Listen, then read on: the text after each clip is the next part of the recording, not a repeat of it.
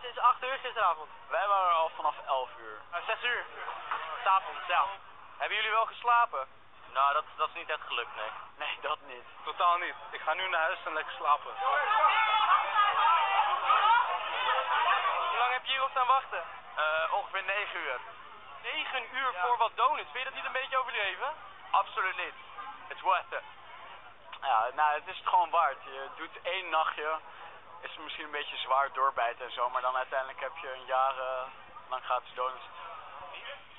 En hoe is de eerste hap van de eerste donut? Echt heerlijk. Precies waar ik op had gewacht. Weźcie Polska Master Film. Dla sceny Prima TV.